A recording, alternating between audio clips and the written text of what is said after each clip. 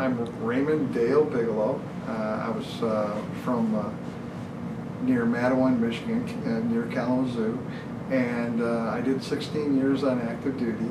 Oh, I, I was was we were into an all volunteer force by the time that I I joined. I joined in 1978, and uh, what caused me to join was at the time um, it was very difficult to find uh, employment, and, uh, and and I really wasn't sure about did I want to go to, to college or not, and so um, my father was in the.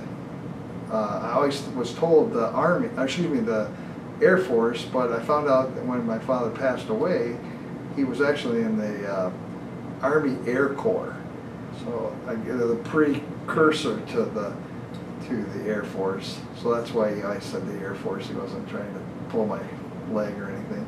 But um, he told me if you're going to join the military, join either the Air Force or the Navy because he told me they had the best schools.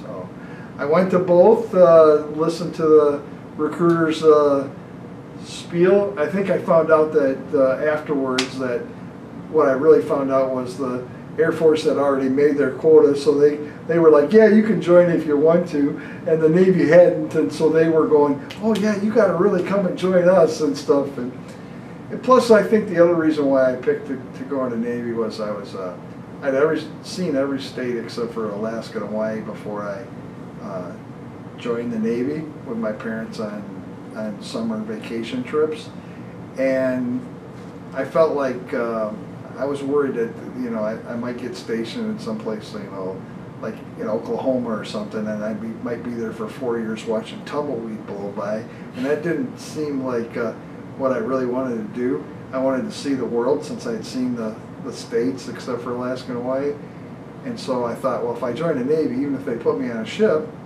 uh, I'm probably going to go some places and see some things. So that was why.